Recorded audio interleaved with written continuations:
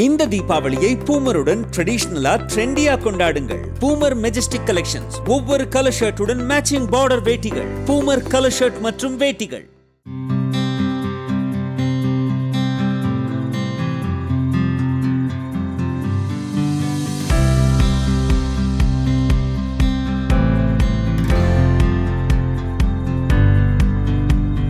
பயோஃப்ளக் system வந்து Israel டெக்னாலஜின்னு சொல்லுவாங்க. இஸ்ரேல் நாட்டை உருவானது இந்தியாவில் உருவானது கிடையாது வந்து. இந்த சிஸ்டம் பார்த்தீங்கன்னா ஆயிரத்தி தொள்ளாயிரத்தி எழுபதுலேயே வந்து இதை தொடங்கினாங்க இதை வந்து. இந்த சிஸ்டம் பண்ணுறதுக்கு வந்து ஏழு தொட்டி போடுறதுக்கு வந்து கவர்மெண்ட் வந்து ஏழரை லட்ச ரூபா கொடுக்குது. அதுக்கு வந்து அவங்க ஒரு சில நாம்ஸ்லாம் வச்சிருப்பாங்க.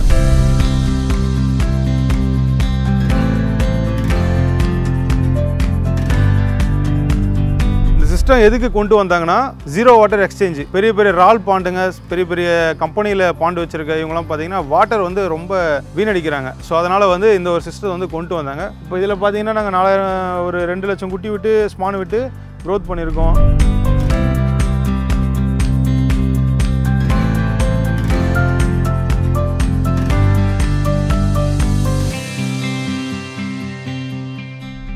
அனைவருக்கும் வணக்கம். என்னோட பேர் பார்த்தீங்கன்னா விக்னேஷ். நான் ஒரு எம்பிஏ பட்டதாரி. எல்லாருமே வந்து படிச்சுட்டு ஏதோ ஒரு வேலைக்கு போவாங்க. நான் ஏன் பிஸ்னஸ்க்கு வந்தேன்? எதுக்கு மீன் வளர்ப்புக்கு வந்தேன்னு சொன்னால் அதுக்கு நிறைய காரணம் இருக்குது என்னுடைய அப்பா பார்த்தீங்கன்னா ஒரு நாற்பது வருஷமாக மீன்பிடி தொழிலில் இருந்தார். அவருக்கு வேறு பார்ட் ஆஃப் பிஸ்னஸும் இருந்துச்சு. அவர் சீசன் டைமில் இந்த ஃபிஷிங் பண்ணுவார். ஸோ நாங்களும் அந்த டைமில் வந்து அப்போ அவர் கூட வந்து சேர்ந்து பண்ணுவோம்.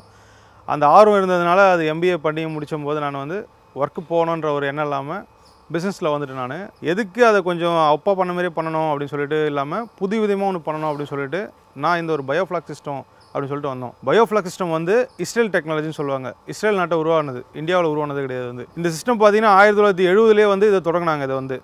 இது கொஞ்சம் கொஞ்சமாக அப்படியே சயின்டிஃபிக்காக நடந்துகிட்டே இருந்துச்சு ஒர்க் வந்து இது. இது பார்த்தீங்கன்னா ஒரு ஆயிரத்தி தொள்ளாயிரத்தி எண்பத்தெட்டுன்னு வரும்போது தான் வந்து பார்த்தீங்கன்னா இது கொஞ்சம் பாப்புலேஷன் ஆக ஆரம்பிச்சது. ஒரு ஆயிரத்தி தொள்ளாயிரத்தி தொண்ணூறில் பார்த்தீங்கன்னா ஃபார்மர்ஸுக்கு வந்து இது வந்து அர்ப்பணிச்சாங்க. அப்போ தான் வந்து இந்த மாதிரி ஒரு சிஸ்டம் இருக்குது அப்படின்னு சொல்லிட்டு.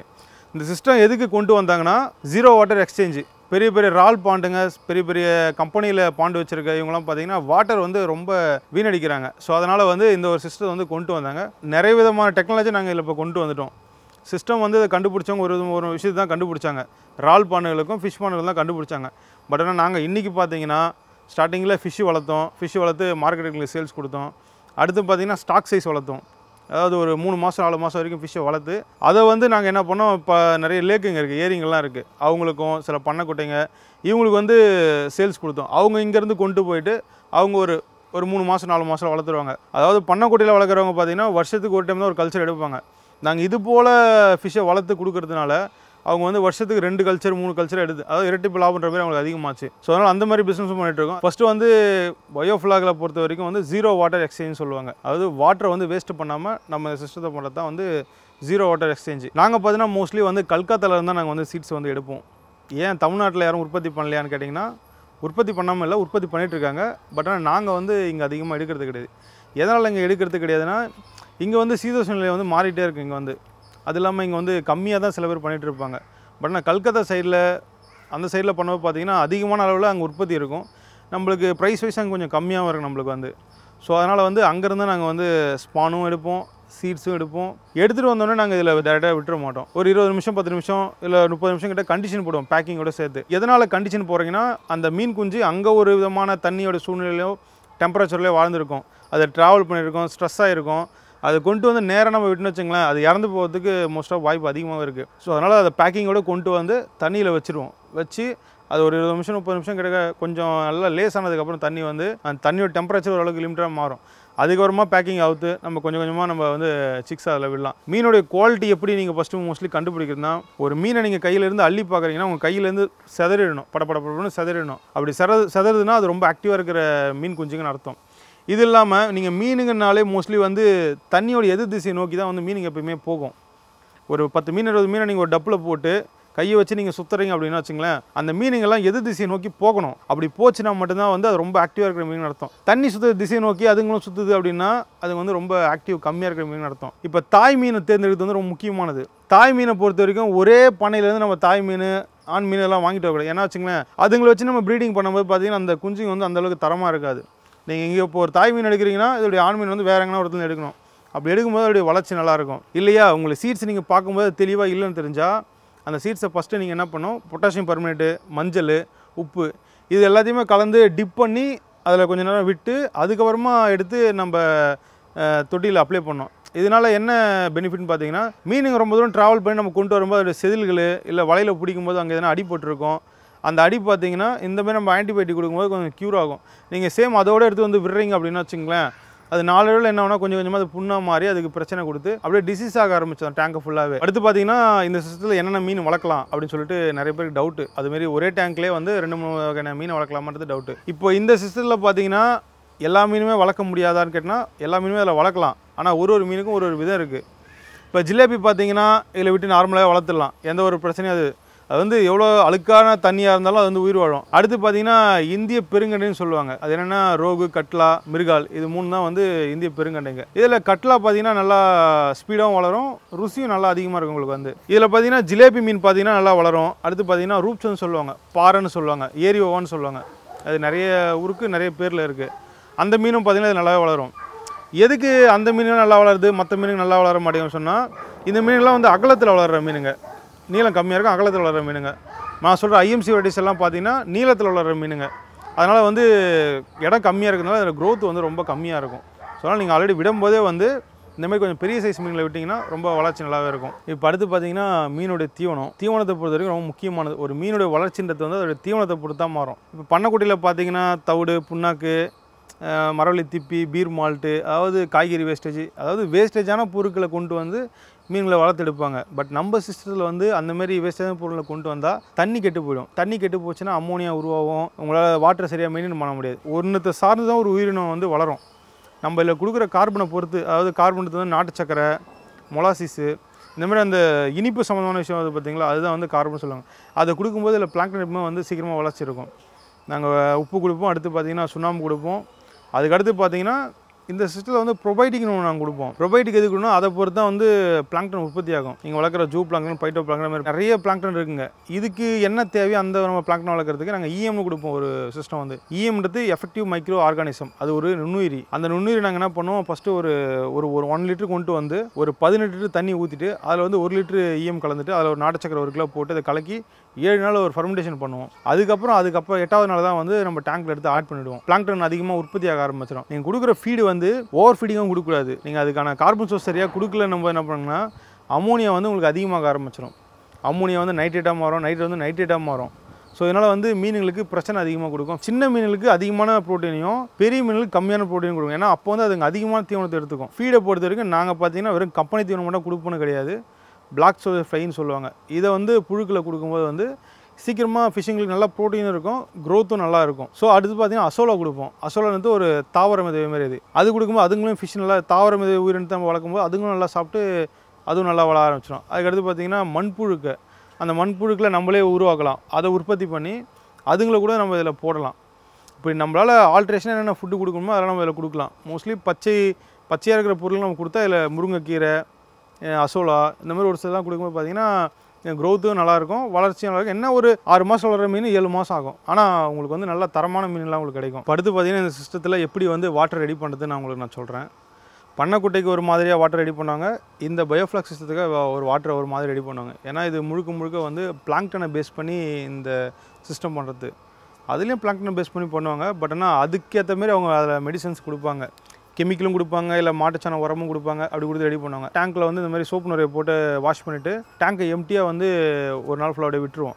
அதுக்கடுத்த நாள் வாட்டரை வந்து ஃபுல்லாக ஃபில் பண்ணிவிட்டு இதில் வந்து ப்ளீச்சிங் பவுடர் கொடுப்போம். எதுக்கு ப்ளீச்சிங் பவுடர் கொடுக்கணும்னு வச்சுங்களேன் நீங்கள் எடுக்கிற தண்ணி வந்து போர் தண்ணியாக இருக்கலாம் இல்லை கண் தண்ணியாக இருக்கலாம் அதில் ஏதாவது ஒரு உயிரினம் இருக்கலாம் அந்த நுண்ணுயிரிங்க வந்து இதில் வந்து வரலாம். இதனால் நம்ம பண்ணுற சிஸ்டத்தில் எதனா ப்ராப்ளம் வரலாம். அதனால் ப்ளீச்சிங் பவுடர் கொடுக்கும்போது தண்ணி வந்து ஃபுல்லாக ப்யூர் ஆகிடும் அதுக்கடுத்து பார்த்தீங்கன்னா தண்ணியோடைய பிஹெச் லெவல் நம்ம பார்க்கணும். பிஹெச்சை பொறுத்த வரைக்கும் சிக்ஸ் பாயிண்ட் ஃபைவ்லேருந்து எயிட் பாயிண்ட் ஃபைவ்க்குள்ளே இருக்கணும். ஆப்டிமம் ரேஞ்ச் வந்து செவன் பாயிண்ட் ஃபைவ் தான் வந்து கரெக்டான ரேஞ்சு இந்த ரேஞ்சில் இருந்தால் தான் நம்ம குடிக்கவும் நல்லாயிருக்கும் மீனுங்க உயிரோடும் நல்லாயிருக்கும்.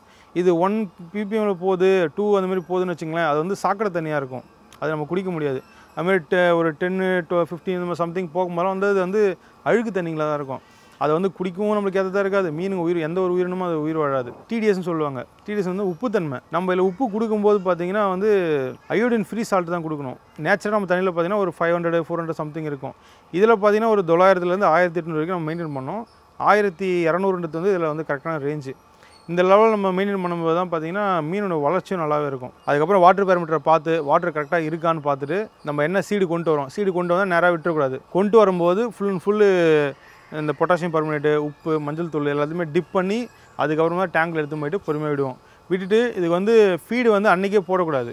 அதுக்கு அடுத்த நாள் தான் போடணும். அதுக்கடுத்து ஆக்சிஜன் சிஸ்டம் ஆக்சிஜன் இதுக்கு வந்து ரொம்ப ரொம்ப முழுக்க முழுக்க ரொம்ப முக்கியமான ஒன்று வந்து. பவர் சப்ளை ரெண்டாவது அதுக்கு அதுக்கு மேலே ரொம்ப முக்கியமானது. எதுக்குன்னா இது வந்து நீங்கள் நார்மலாக வளர்க்குற மீன் பண்ணுற மாதிரி இது கிடையாது இது. இது வந்து ஹை டென்சிட்டி அதாவது ஒரு ஏக்கரால் வளர்க்குற மீனை வந்து கால் கிரவுண்டில் வளர்க்குறோம் நம்ம. அதுங்களுக்கு நம்ம என்ன பண்ணால் காற்று கொடுக்கணும். இப்போ நீங்கள் ஒரு லிஃப்ட்டில் போகிறீங்கன்னா ஒரு பத்து பேர் தான் போக முடியும் ஒரு அஞ்சு பேர் தான் போக முடியும் அஞ்சு பேர் தான் போக முடியும். அதுக்கு மேலே நீங்கள் இருபது பேர் போனீங்கன்னா உங்களுக்கு மூச்சு திணறல் ஏற்படும் அந்த சிஸ்டமே ரன் ஆகாது ஃபஸ்ட்டு அதே போல் இந்த சிஸ்டத்துக்கும் இதுக்கு இவ்வளோ தான் விடணும் அப்படின்னு இருக்குது ஆயிரம் லிட்டருக்கு வந்து நூறுலேருந்து ஐம்பது குஞ்சு வரைக்கும் விடுவாங்க மீனுங்களை. காற்று நம்ம கொடுத்தா அதில் பிரச்சனை இருக்காது. காற்று நீங்கள் கொடுக்க அப்படி மறக்கறீங்க அப்படின்னு வச்சுங்களேன் கண்டிப்பாக மீனிங் என்ன பண்ணால் ஒரு ஒன் ஹவரில் வந்து எல்லாம் மேலே வந்து வாயை திறந்து திறந்து மூடும்.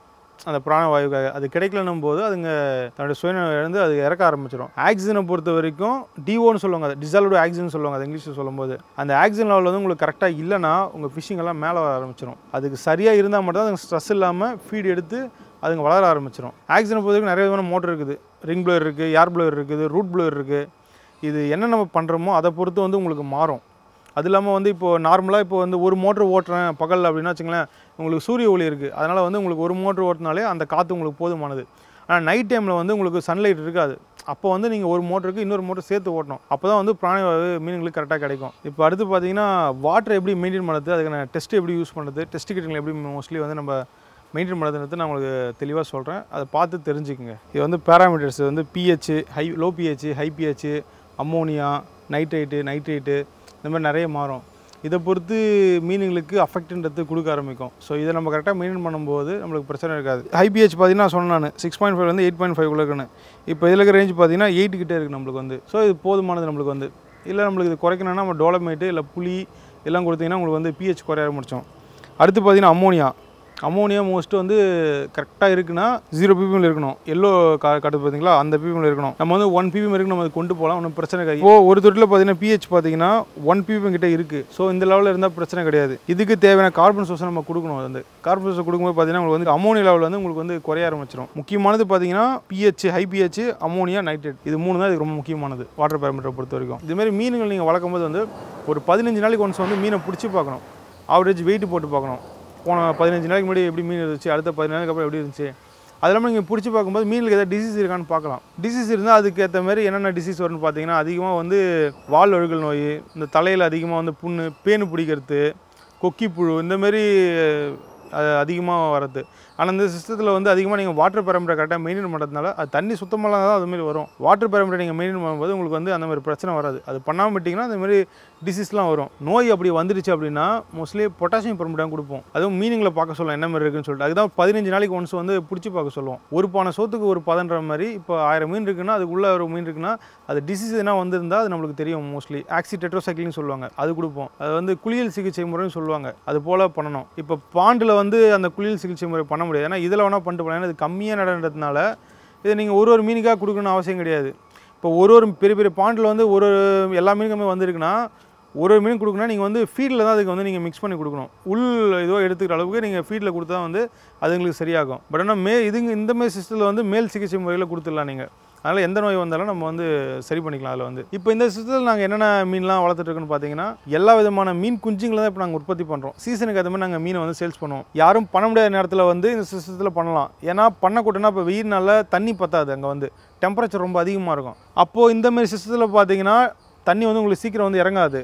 நாங்கள் ஷேர் நட்டு போட்டிருக்கோம். டெம்பரேச்சர் உங்களுக்கு கம்மியாக இருக்கும். இப்போ நாங்கள் பார்த்தீங்கன்னா முழுக்க முழுக்க இப்போ வந்து இதுக்கு முன்னாடி பார்த்தீங்கன்னா ஸ்டாக் சைஸ் கொடுத்தோம். ஸ்டாக் சைஸ்னால் ஒரு நூற்றி ஐம்பது கிராமு இரநூறு கிராம் நூற்றி எண்பது கிராம் இந்த மாதிரி சைஸ் கொடுத்து இது ஒரு நூற்றி ஐம்பது ரூபா நூற்றி முப்பது ரூபா ரேஞ்சில் அவங்க வந்து ஏரிங்களுக்கும் பண்ணை குட்டைங்களுக்கும் வந்து மீன் குஞ்சுங்களை உற்ப சேல்ஸ் பண்ண ஆரம்பிப்போம். இப்போ ஒரு லட்சம் குட்டி நாங்கள் வாங்கிட்டு வரோம்னு பார்த்தீங்கன்னா எங்களுக்கு ஒரு பாதிக்கு பாதி என்ன கூட போதும் இதில். ஒரு ஐம்பதாயிரம் டு எழுபதாயிரம். மோஸ்ட்லி வந்து எண்பது சர்வேல் நல்லாவே நிற்குது நிற்காமலாம் போல. இப்போ ஸ்பான்னு பார்த்தீங்கன்னா நாங்கள் ஒன் லேக் ஸ்பானும் விட்டுருக்கோம். அடுத்து பார்த்தீங்கன்னா டூ லேக்கும் விட்டுருக்கோம். த்ரீ லேக்ஸும் விட்டுருக்கோம். ஏன்னா தண்ணி டென்சிட்டி வந்து டென்சிட்டி பொறுத்தும் அது அளவை பொறுத்து இது மாறும். இப்போ இதில் பார்த்தீங்கன்னா நாங்கள் நாலாயிரம் ஒரு ரெண்டு லட்சம் குட்டி விட்டு ஸ்மான் விட்டு க்ரோத் பண்ணியிருக்கோம். இந்த சிஸ்டம் பண்ணுறதுக்கும் சரி கவர்மெண்ட்டில் பொறுத்த வரைக்கும் பார்த்தீங்கன்னா நிறைய சப்சிடி கொடுக்குறாங்க. மத்திய கவர்மெண்ட் வந்து இருபதாயிரம் கோடி கிட்ட இந்த ஸ்கீம்களுக்காக கொண்டு இந்த ஸ்கீம்னா பயோஃப்ளாக் மட்டும் கிடையாது. மீன் வளர்ப்பு சம பண்ணுறதுக்கு இருபதாயிரம் கோடி கிட்ட நிதி ஒதுக்கியிருக்காங்க. அவங்கவுங்க ஃபிஷரி டிபார்ட்மெண்ட்டில் இருக்கிற எஸ்ஐ இருக்காங்க ஸ்டாஃப் இருக்காங்க அவங்க கிட்ட போய் நீங்கள் கேட்டிங்கன்னா அப்ரோச் பண்ணீங்கன்னா அவங்க ஃபுல் அண்ட் ஃபுல் உங்ககிட்ட ஸ்கீம் சொல்லுவாங்க. பிரதம மந்திரி திட்டம்னு ஒன்று இருக்குது ஸோ அந்த ஸ்கீமை யூஸ் பண்ணி காஸ்ட்டை பொறுத்து மாறும். சிஎம்பிசி பொறுத்து அவங்க என்ன காஸ்ட் இருக்கோ அதுக்கேற்ற மாதிரி வந்து சப்சிடி வரும். லேடிஸ் பேருக்கும் ஜென்ஸுக்கும் அதுமாரி சப்சிடி மாறும்.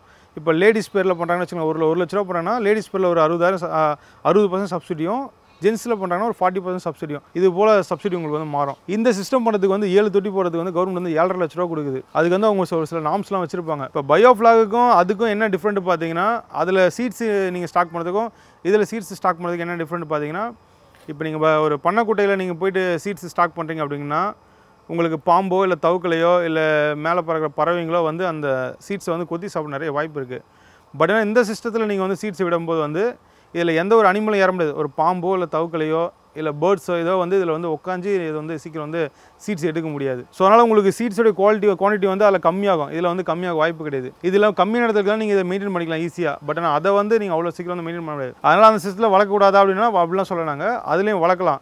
பட் ஆனால் அதை விட இது கொஞ்சம் மெயின்டெனன்ஸ் கம்மியானது. இந்த சிஸ்டத்தில் எதுக்கு நீங்கள் ஏன் பெரிய இடத்துல பண்ணலை அப்படின்னா எல்லாராலையும் பெரிய இடம் எல்லாருக்கிட்டையும் இருக்காது. இப்போ நல்ல ஃபிஷ் சாப்பிட்ணும்னு நினைக்கிறீங்க.